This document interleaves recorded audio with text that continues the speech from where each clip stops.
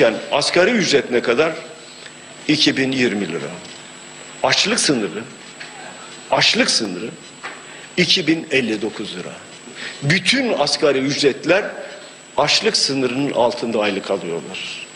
Önümüzdeki aydan itibaren de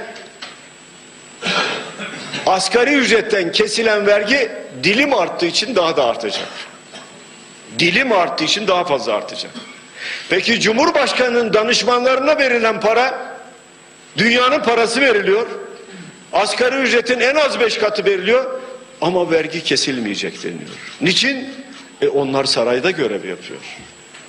Asgari ücretli vergi verecek, artan oranlı vergi verecek ama saraydaki beylere kimse dokunmayacak. Çünkü saray sosyetesinin ayrı bir özelliği.